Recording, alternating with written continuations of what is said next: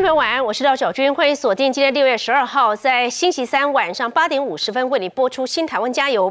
在刚刚八点钟，君临天下是直播当中跟林非凡之间的对话，你已经听得出来，台湾现在所面临的局势，他所忧心的是今日香港，今日台湾，而一幕一幕的场景里头，令我们感到十分难过。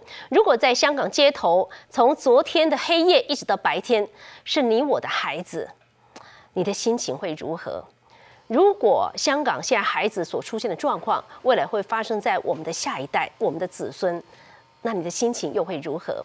无国界记者已经提出的示警，未来北京想抓谁就抓谁。而逃犯条例呢，宛如像是头上架了一把刀，来自于香港社服、宗教所有的团体罢工总动员，他们为了向香港政府来表达反对去修订逃犯条例，超过五十个，包括来自于社服界跟宗教界，他们在今天全面大罢工。昨天第一时间我们也告诉你了，的大罢工的范围还包括了谁呢？包括了就是有空服人员，国。泰航空公司有一千七百多人加入了行内。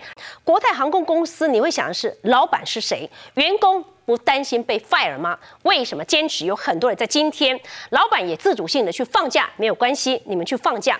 有人公开表明，连署就是反对恶法，在这样的状况之下，强渡关山。今天我们要好好的思维，重回大现场，连线包括在香港，包括在台湾声援香港的学生这样的场合，包括连线到美国纽约，全球都在声援当中，全球众多的媒体几乎人都来到了香港，但是香港遭到包。为立法会未来的结局是什么？今天急转直下，二读在刚刚宣布是延期了。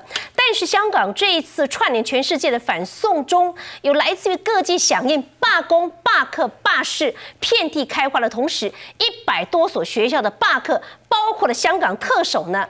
廉政月娥的母校也在罢课的行内，而在台湾北中南在进行串联当中，这是林非凡他所喊出“今日不发声，明日发不出声”。今日香港，今日台湾的命运，究竟台湾会选择冷漠吗？今天林非凡来到我们现场，而我们看到逃犯条例通过之后所爆发的寒蝉效应，美国。英国现在官方都说话了，压力如果出现在中国的话，请问一下，中国政府如果面对这香港的特区政府沦为一个傀儡的话，中国政府执意要蛮干，你觉得此刻谁可以给中国压力，谁可以改变香港的命运呢？